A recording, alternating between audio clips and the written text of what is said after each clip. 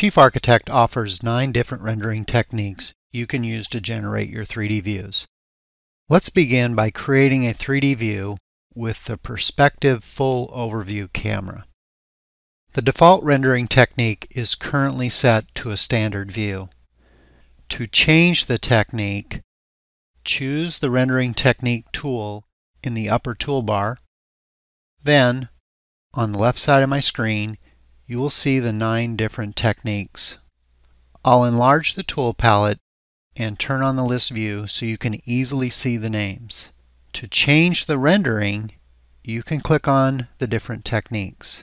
At the bottom of the list is the Technique Options tool where you can define the settings for each rendering style.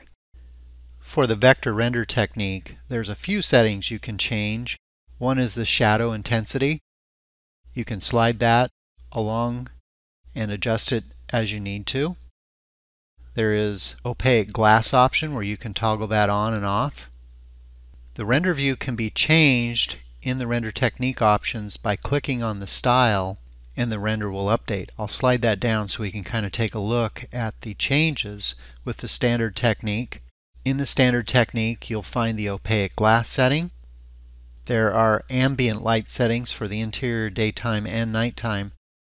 And line drawing has been added where you can place this over the top. Much like the watercolor view, each one of the line drawing elements can be changed as well as the color. Again, I'll slide the dialog down and you can take a look at these settings using the standard render technique.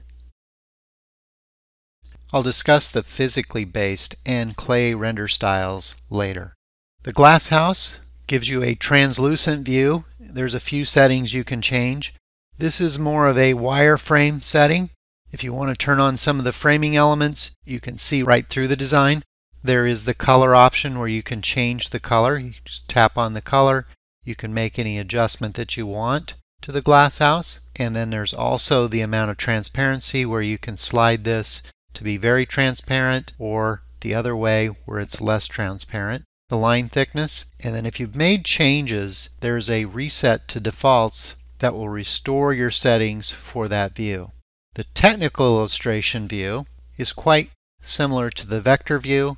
You'll see patterns on your materials and then a few settings in here for the opaque glass, a warm color, and a cold color each one of these can be changed and then you can mix the blend between the two. The line thickness and then the shadow intensity can also be set up. For the watercolor technique, there are a number of settings you can use for the watercolor. I slide this up, again you have glass opacity where you can toggle this on and off. Some of these settings you may notice are not as dynamic as others. In some cases when you toggle, you may need to use the Update view to see the actual changes.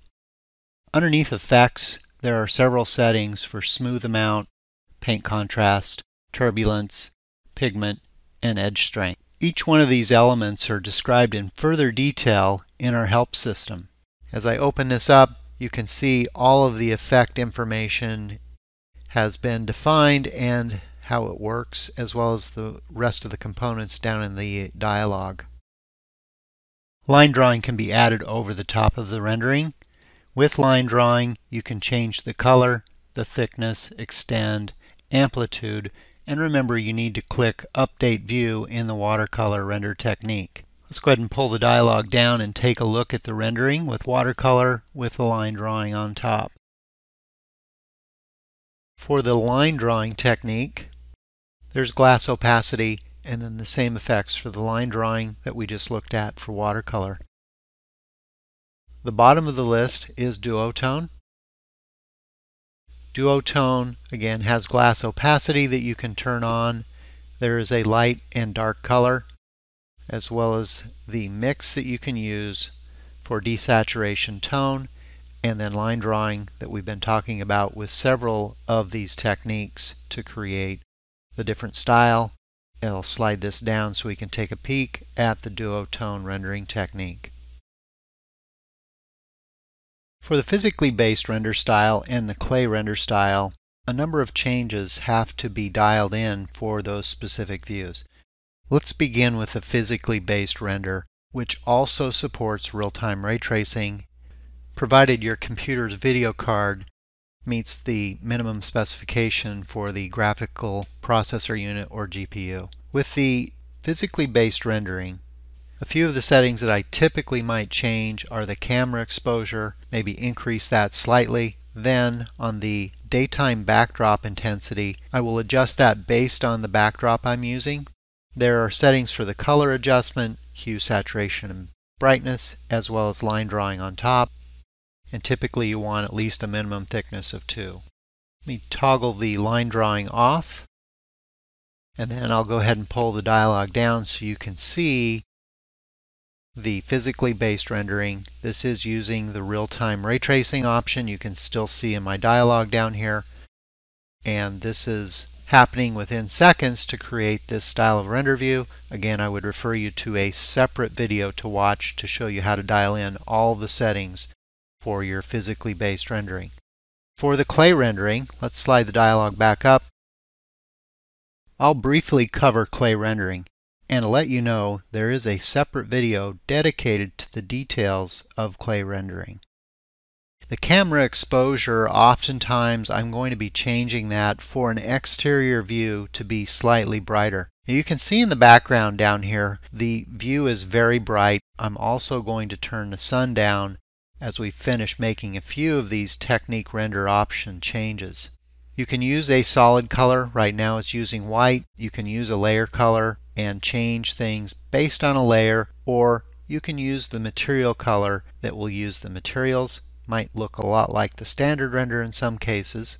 There are settings down here for the materials to ignore certain properties, metalness, bump maps, AO maps, override material roughness if you've set those for things. Change your lighting to all be consistent. Sometimes you may have changed your lighting. Interior lights may have a yellow hue to them. You can turn on ray tracing for this view as well as turn on line drawing. So let me make a few of these changes that I typically do with using ray tracing, turning on line drawing on top, and then I'm also going to use a specific layer set, and I'll change that when we're finished here, to use layer colors to control how the clay view will look. Now once I've made these changes, I'll change the layer set to use one that has colors. Let me switch this over and choose the layer set that I've built. You see in my drop down here I have a layer set for 3D camera clay that was custom built. For both the physically based render and clay techniques, adjusting the sun will typically greatly improve the render. If I make a quick adjustment using the camera view lighting tools and then come over and adjust the sunlight, Toning the sun down from 100,000 to something like 2,000 should improve the view. Render technique settings can be made in your defaults. You'll find this setting under 3D view defaults and then render techniques. If you have preferred settings, make the changes in your defaults and then save them in your template plan for all your 3D views going forward. That wraps up this session on rendering techniques. Please see our built-in help file as well as our additional videos to learn more. Thanks for watching the video.